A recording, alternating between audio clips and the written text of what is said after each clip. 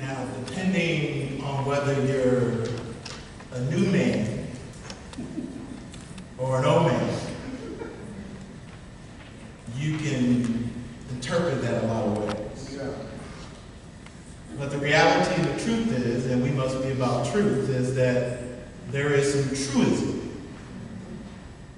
to this. Now, we cannot expect the world.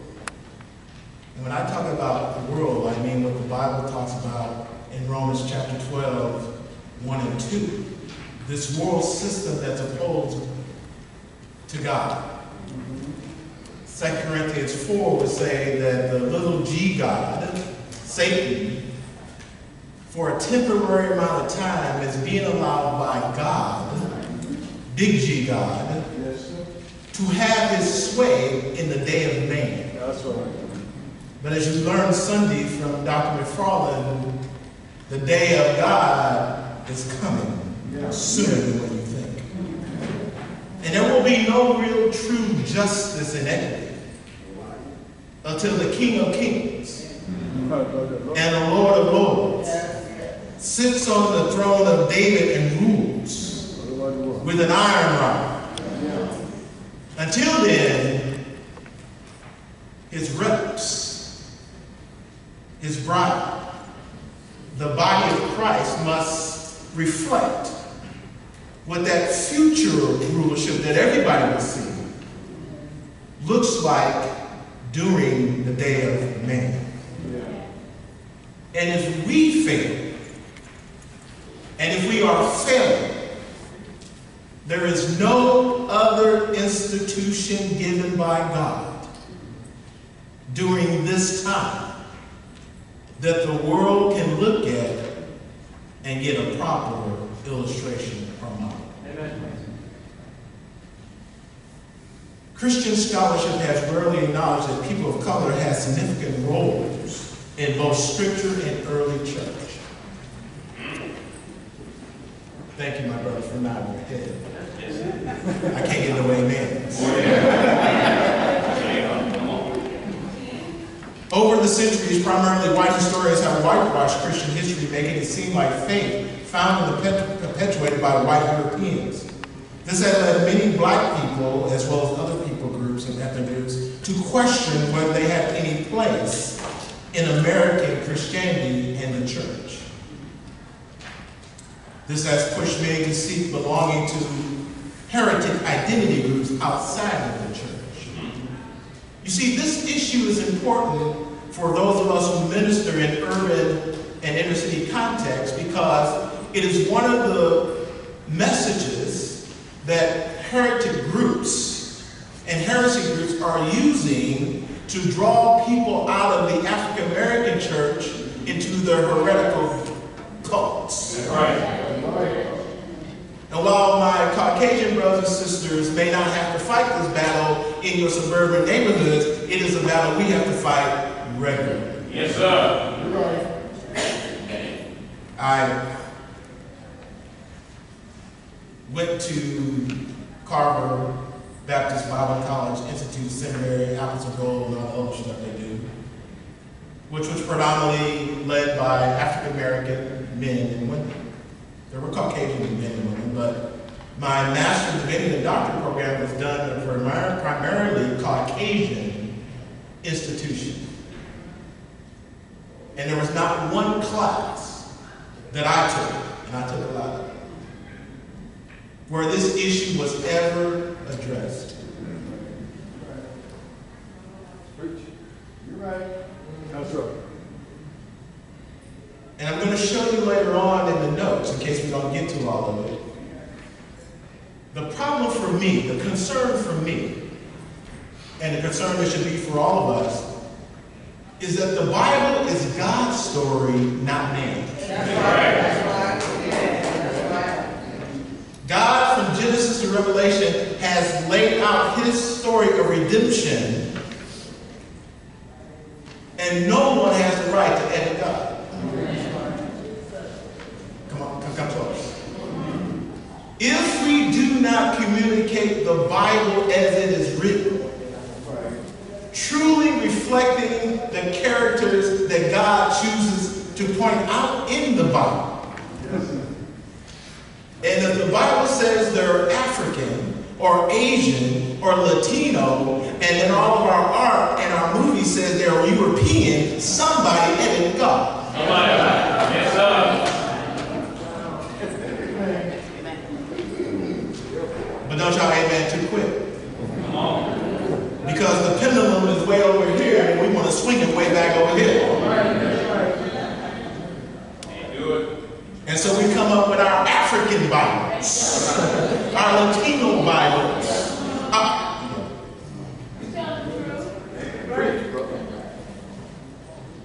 and my concern is who said we had the right to rewrite God's story?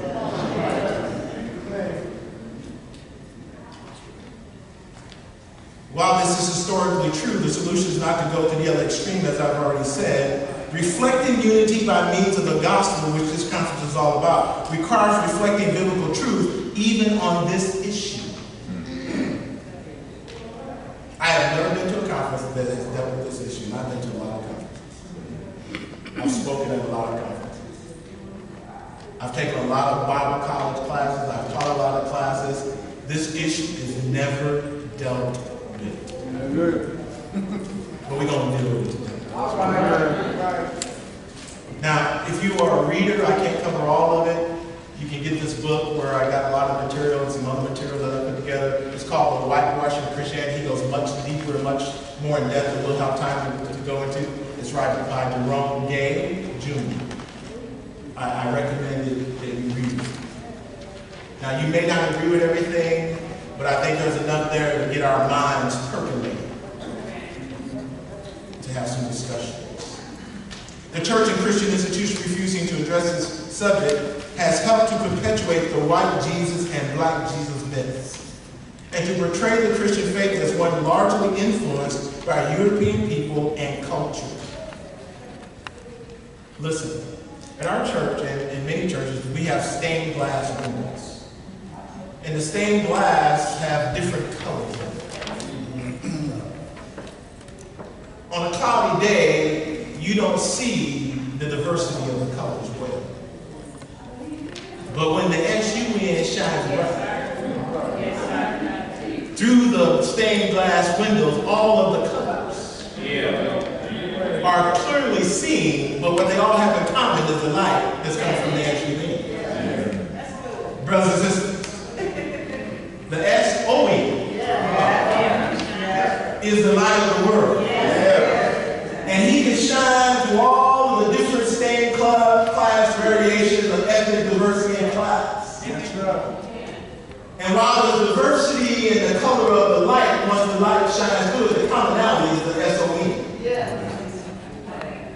And that's where we start. Yes, sir. But we want to talk about the different colors that are shining on the carpet of the people.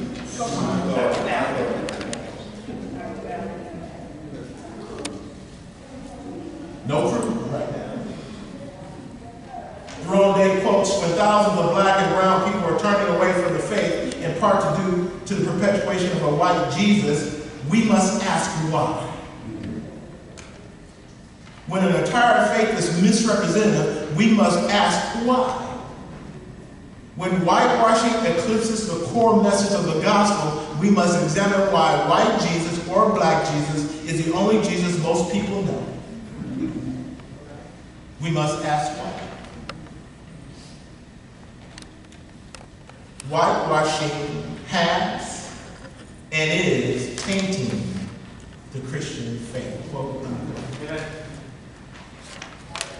So let's define the term whitewashing, because it may not be familiar to you. It didn't used to be familiar to me, but I've done research. I've studied this for a year, a couple of years. The Cambridge Dictionary defines whitewashing as an attempt to stop people from finding out the facts about a subject or situation. That's what it is in its purest definition. It is an attempt to hide facts in order to control a narrative. I told y'all we don't need CRT, you just need a Bible. An example of whitewashing is the use of white people to represent people of color in film and history. One of the examples that he uses in the book is the movie by Cecil B. DeMille, The Ten Commandments. Y'all remember that movie? Tell me what color were all the people in the movie? If you study your Bible, the Egyptians were dark skinned. And the Egyptians were persecuting the Israelites who were dark skinned. All right. Ahead, go ahead. Get everybody. So if we're gonna be factual about history, we as African Americans must also look at our ugliness in history. While we're calling our other counterparts to look at the ugliness of history. It amazes me that we know for a fact that African kings were enslaving their own people in Africa and sold their own people into slavery to foreigners. But you want to tear down statues, but you keep wanting to go to Africa. I will be standing over here for the stoning when I get done. We're not being fair. We're not being just. If we're going to talk about the ugliness, let's talk about all the ugliness. Because we're supposed to be a people of truth, not the truth we want to be truthful for. Brother Hines, I remember when I came to uh, Syracuse and you told the story of when you went to college. That um, at an HBCU school, is that right? That you were a little too dark. But you among other black folk. So because he was a little darker than the other black folk, he wasn't accepted by the black folk.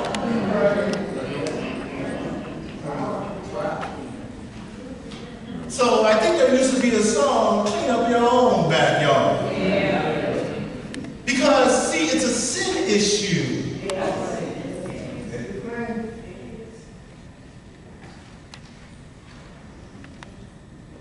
Whitewash Christianity refers to the affinity of white Christian scholars to dominate the Bible's Christian art, literature, and history with white people at the expense of authentic ethnicity and true scholarship in order to resonate most deeply with the experience, presupposition, and worldviews of the white audience. There's an agenda. They do it on purpose.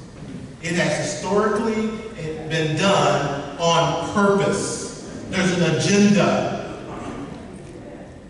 But just like there's an agenda on the other side by those of us who are a more darker persuasion. Another term related in my notes to the concept of whitewashing is Eurocentrism. This is placing the experience, culture, and philosophy of people of European descent at the center of personal understanding of culture and behavior. Essentially, it's making what is white or European universal.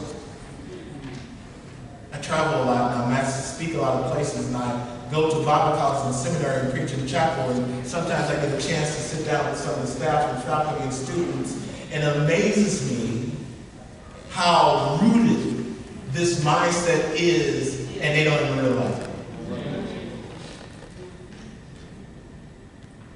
They want to go back to the Reformation and stuff.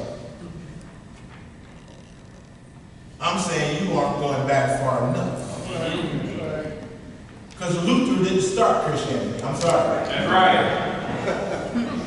I'm excited about what he did. I'm excited about how he stood against the Roman Catholic Church. But that's not where it started. You got to go back further than that. And we as African Americans got to go back to further than 1619. That's right.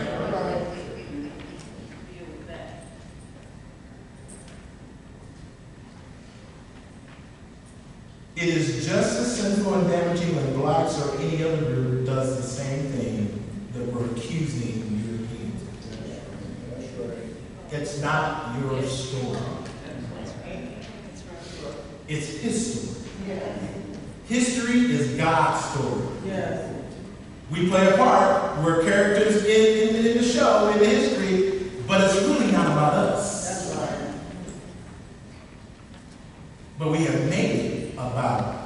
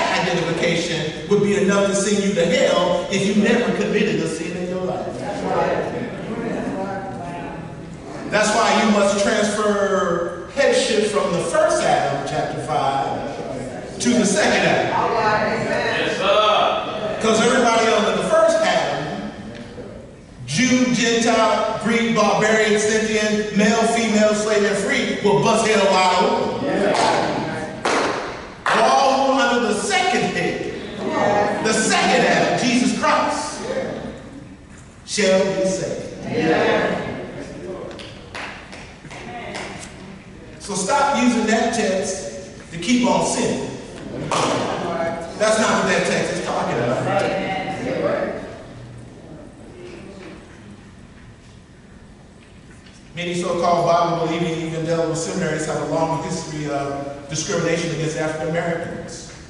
And to this day, when teaching church history, some of these schools ignore the church in Ethiopia, Egypt, India, Persia, and other nations of color, acting as if they did not exist. Mm-hmm. Talk about Listen to me, brothers and sisters. Yeah.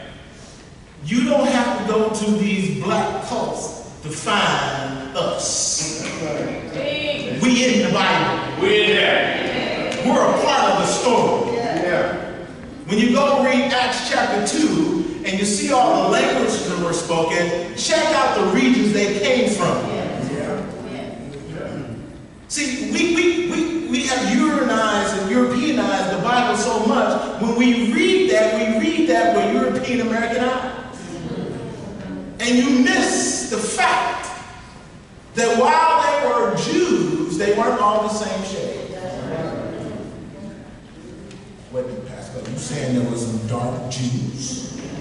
I'm saying the Bible says there was some dark Jews. Say it. Just like there were some dark Gentiles, some light Gentiles, some medium Gentiles. The church at Antioch, in Acts, had a diverse leadership staff. There were some Africans, Ethiopians on that staff. There was an Italian on the staff. Paul and Barnabas were on that staff. It was a diverse leadership. Because God's story is a multi-ethnic story. Yes, sir. To change it and make it a one particular group story is to edit God's story. Yeah.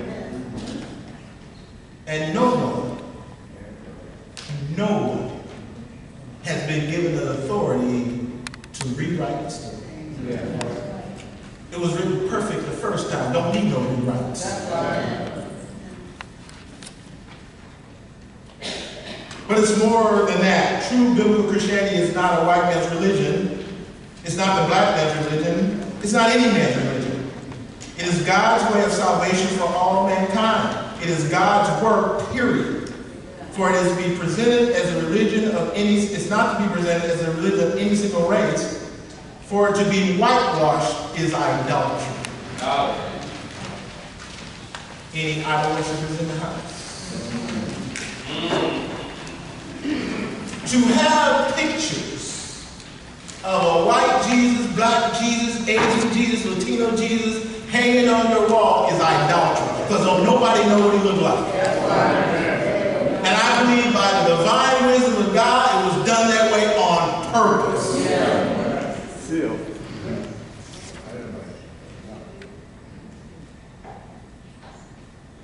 But we like lookalikes. We can't really identify unless he looks like we got somebody that looks like us. But you have no right to edit this. Dr. Tony Evans explains that elevating anything, identity, race, or national allegiance above Christianity is idolatry. And whenever the national allegiance causes you to have a non-Christian perspective underneath the flag, then what you have done is you've created a national ideal that God must resist, reject, and judge, and that's why we're in the shape and the boat we're in now. That's right.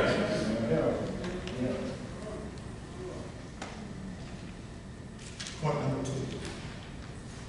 Why must we confront whitewashing? Well, by now, you've already figured that out, right? Because of the growing sentiment among people of African descent as well as around the world, and here in America, that Christianity is a Western-centered, European influence, white-owned expression of faith, this is biblically and historically inaccurate. Now, how are we supposed to be the household of truth telling lies? How are we supposed to be the pillar and support of the truth telling lies? Telling an edited version of God's story. No wonder people are not acting right in church. Yeah, that's right. We've been lying Yep, mm. yep. for far too long. Mm-hmm. The gospel was rooted historically and biblically in Africa, in the Middle East, and Asia long before the Western shores. I'm saying, see, you got to go back before the founding of America. Christianity didn't show up when America came into existence. And by the way, Oh, here we go. In my Bible, which should be like yours, Yep, yep. God only claims two nations. Israel, and according to 1 Peter chapter 2, the church is a nation.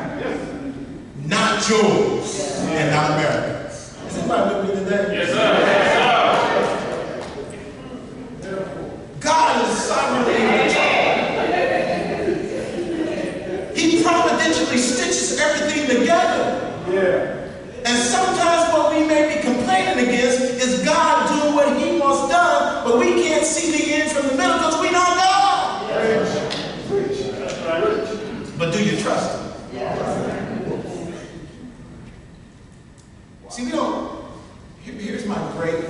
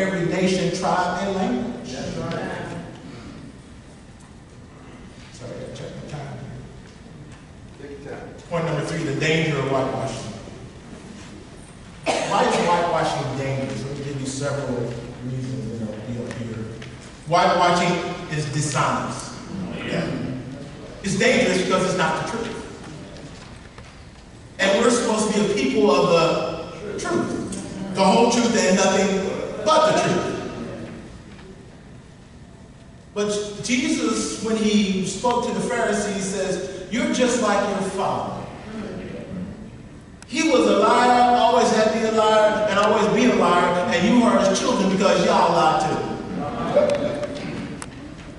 to lie about God's story is a satanic scheme and attack. So stop dealing with the shadows and start boxing with the problem. It's a satanic design attack.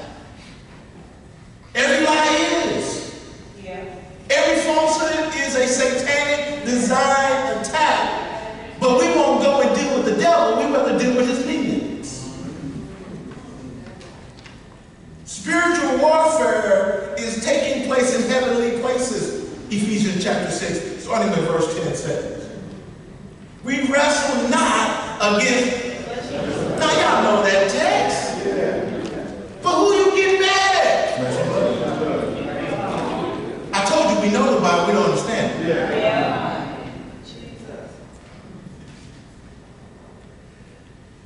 We're in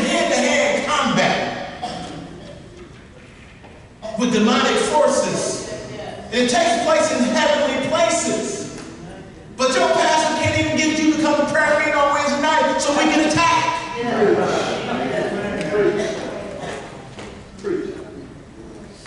That's right. Sunday evening service. Mission in action.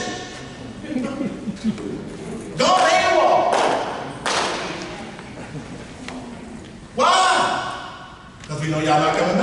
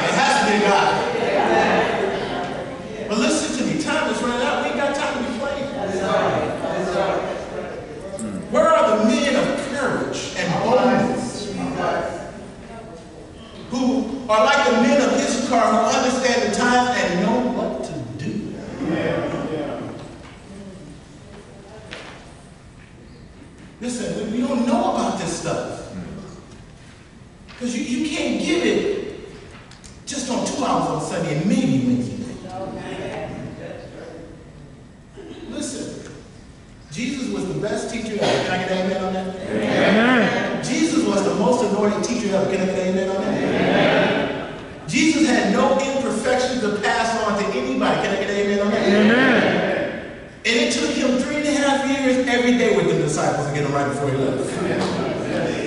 And you think you can do it two hours on Sunday morning? My, my, my.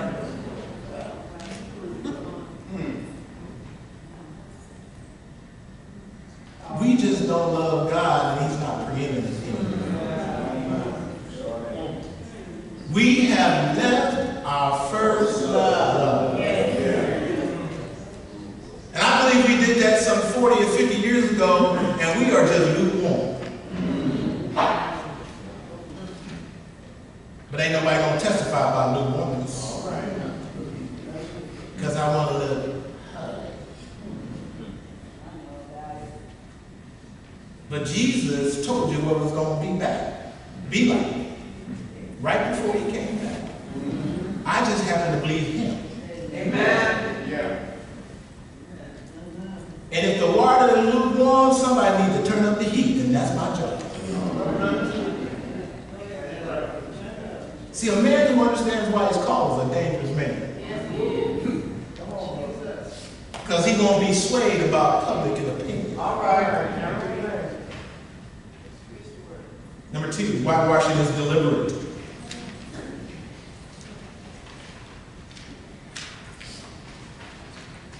It's dishonest because one of the tactics of whitewashing has been intentionally remove any African or ethnic group's influence from the presentation of Christian in history. We don't talk about it. There are blacks all over the Bible. Matter of fact, I heard something somewhere. No, I saw the sign. I saw the sign in the video that Jesus didn't have any black apostles. That's a lie. Go check out the background of John Mark. All right. Talk about it.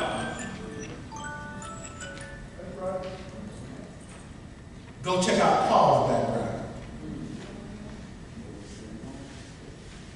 It's not just the Ethiopian.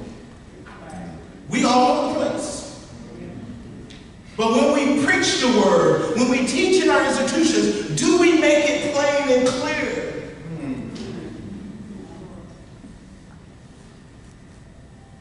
Pastor, you know, we can't give all that background because people's behinds can only handle so much time. Then we need to retrain their behinds. That's it.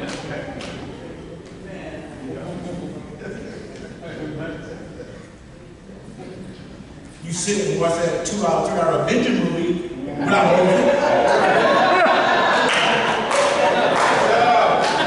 And they ain't even real.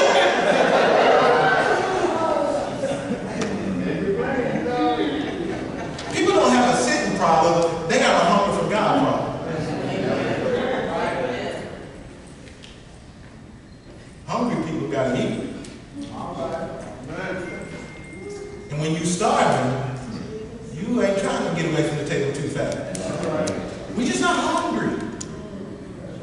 We're not thirsty for the things of God. We like snacking on God and filling ourselves full with the world.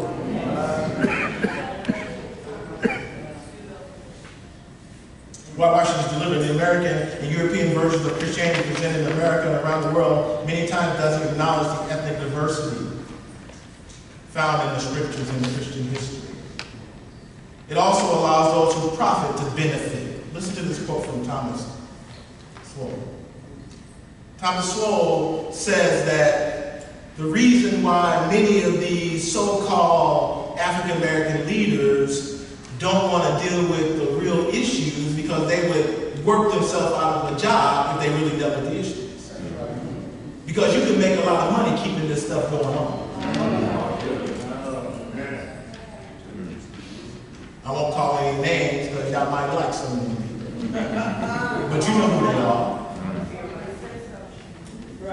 But this is not new. Listen quote by Booker T. Washington about his day. There was another class of colored people who have made a business of keeping the troubles, the wrongs, and the harshness of the Negro race before the public. Yeah right. That's right. all right now, y'all like Booker T, but y'all don't know this Booker T. Having learned that they are able to make a out of their troubles, they have grown into the settled habit of advertising their wrongs, and partly because they want to want sympathy, and partly because it pays.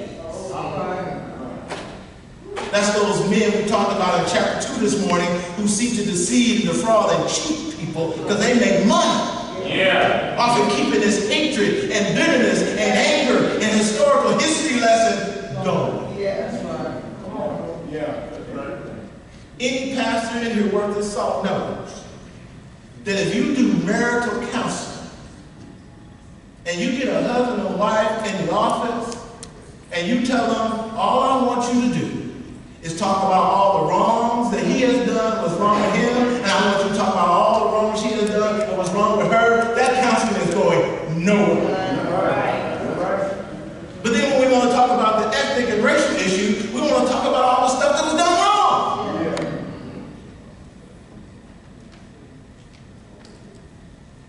You're not going to solve anything talking about how bad they have done and how wrong they have done. That's real. Please, I'm not undermining, but we, the people of God, have a different agenda.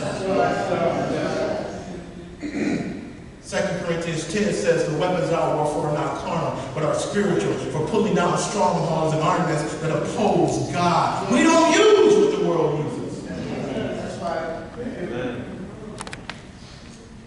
Our weapons are powerful. Can get to the root of the issue. So we're not always trying to treat symptoms.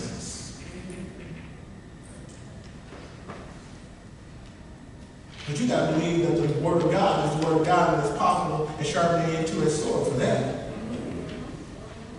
You got to believe 2 Timothy chapter 3, verse 16. All scripture is inspired by God and is profitable. For everything the man of God needs and makes him thoroughly equipped. You got to. Or you'll turn to human philosophy and human traditions and asceticism and legalism and liberalism and not the Word of God. Thirdly, whitewashing is destructive. Consider the slave owners painted the Bible white in order to justify inhumane child slavery. They did that. Yes, they did. And yes, some of them claim to be. But saying it don't make it so. If you don't love your brother, your fellow man, like God loves your fellow man, saying it don't make it so. So stop saying that Christians did all this and say that people who said they were Christians, but by their action didn't demonstrate they were Christians, so they may not have been Christians, so we don't mock Christianity.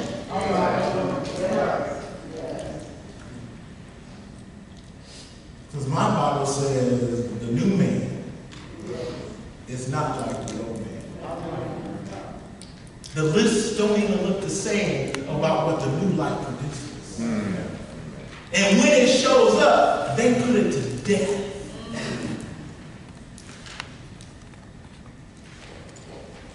Fallacies like the curse of Ham. How you read your Bible and get Ham and say Cain? All right. Unless you have a purposeful agenda for misinterpreting text. Mm. And the very people who were looking down based on the curse of Ham, if they did some of that blood work where people are tracing their ancestry, they fall out of a heart attack. Because they got some Ham up in them too. some Japheth, and some Noah, and some other. Aristotle, Aristotle's climate theory, you can look that up. It's in the book.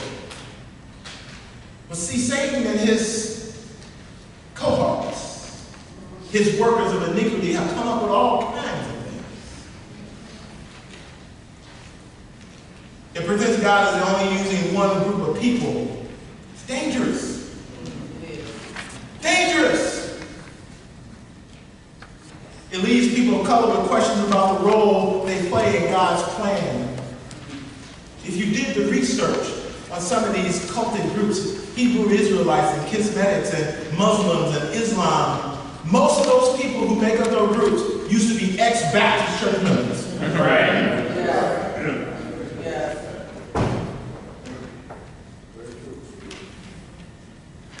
Listen, the church is vital ground for those cults. Because we have not helped them to see themselves in God's Bible, in God's story. And they're searching for identity, and these cultic groups come along and say, here's your identity over here with us. Because over there, that's the white man religion.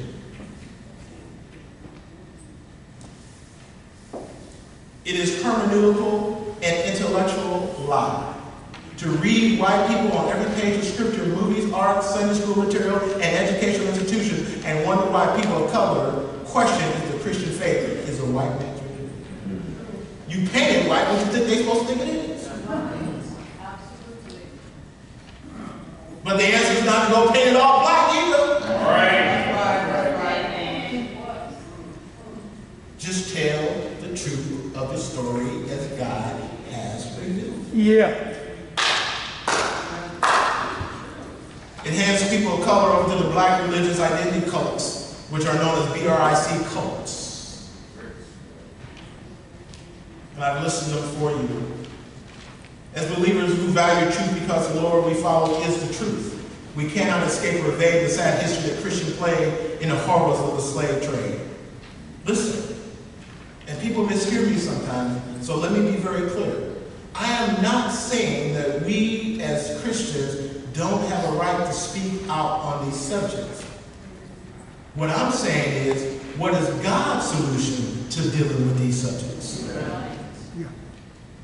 We must talk against slavery that's unjust. We must talk against injustice. We must talk against bigotry. We must talk about all those issues and political issues. But what does God have to say about it? Not my opinion.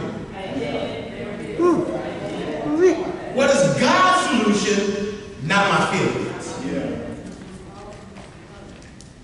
Because the weapons of our warfare are not carnal.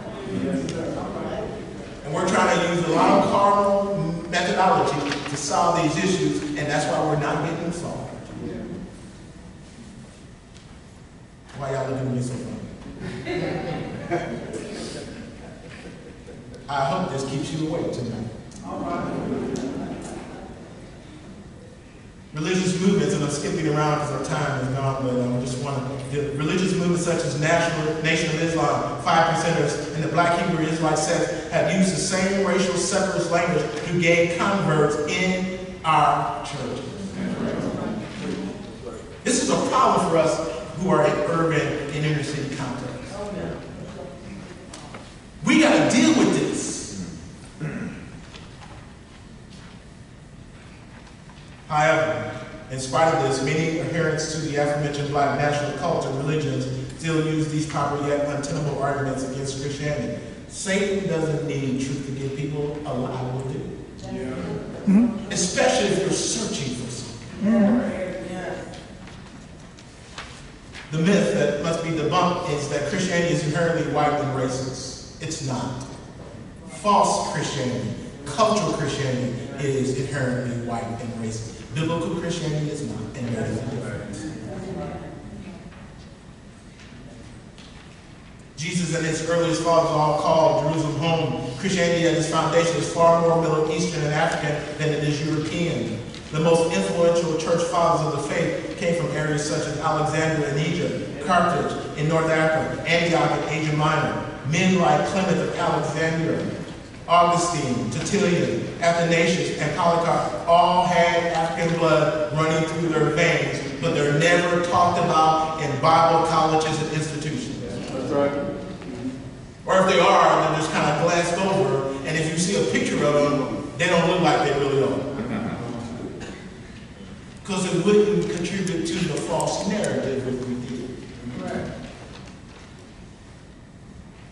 Look how close. angry, so upset, and CRT is trying to get to this, by the fact that our educational systems do not teach history, and you ain't even taught it in your own house. Last time I read my Bible, it said, You, Mr. and Mrs., train up a child in the way it should go, and when he is old. You won't even turn off the TV and teach this stuff to your kids.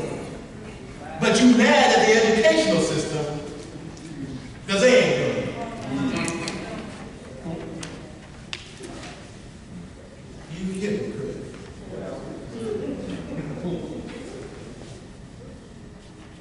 There used to be a time when mamas and daddy taught their own kids.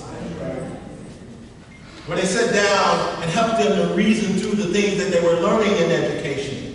And we've just turned our kids over to Caesar and say, go Caesar, go. Because we too busy. There used to be a time when daddy played catch with his kids and taught his kids how to throw and catch a ball. Now we hire everything out to specialists.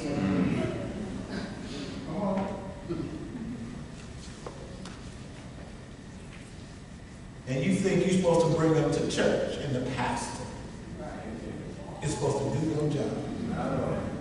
Oops.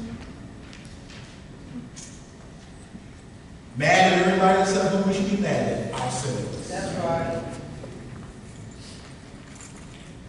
These men were men who had African blood running through their veins, and the historian and theologian Thomas C. Oden so boldly stated in his book, How Africa Shaped the Christian Mind. Despite this diversity, there is a unified center for Christian teaching, the primitive African baptismal confession, which is a time-gained ecumenical confirmation.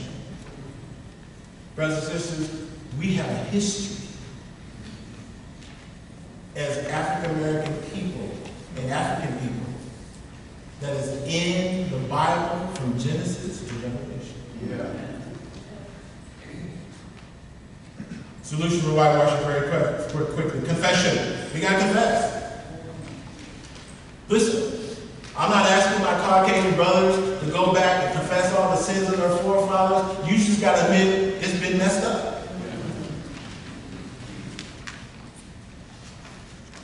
And if you've confessed that to God and you've repented of that, we cool.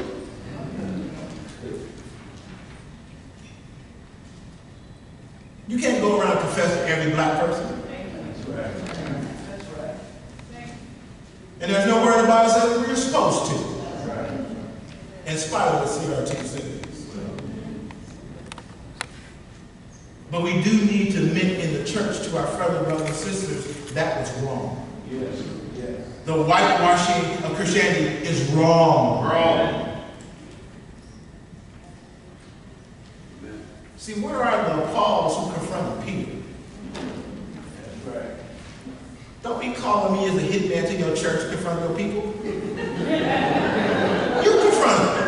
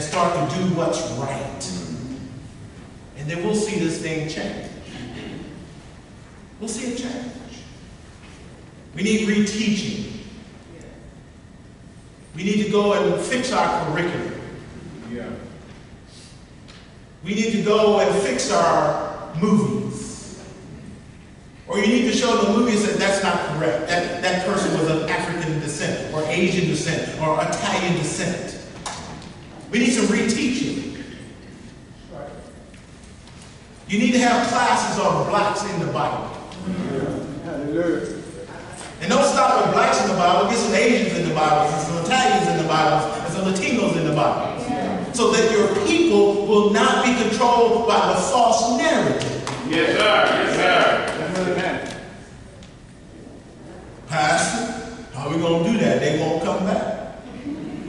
Start with the ones who come back. Amen. Amen. Talk about black or people of color in church history. Help them to discern the misconceptions in the art and the movies and educational material. Show the Ten Commandments and say, hey, hey, hey, hey, Moses' wife was an African woman. Yvonne Carter was dark, she ain't dark enough.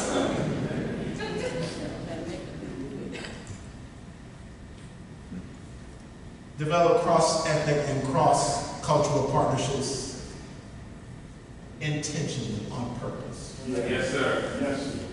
See, Satan keeps a lot of this false narrative going because we won't have honest dialogue. That's right.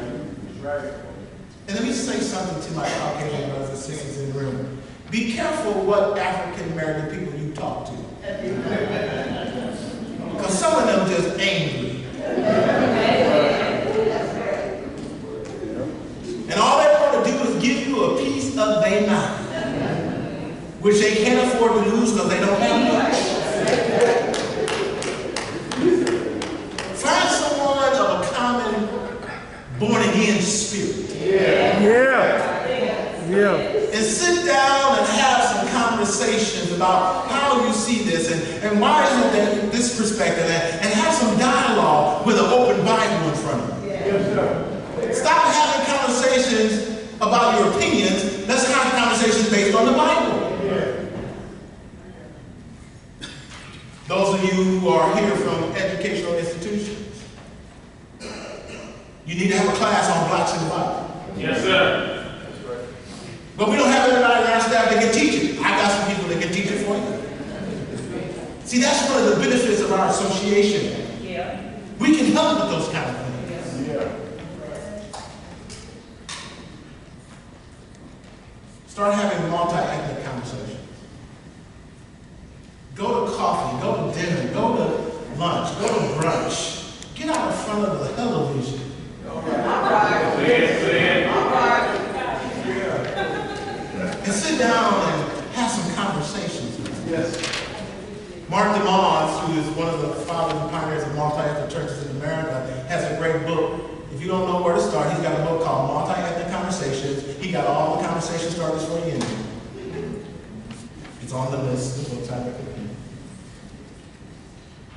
But I believe this is an important issue that has gone unaddressed for far too long.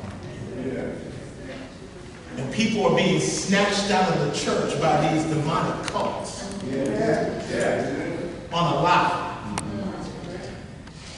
Because they can see themselves in the Bible because they're in the redemptive story.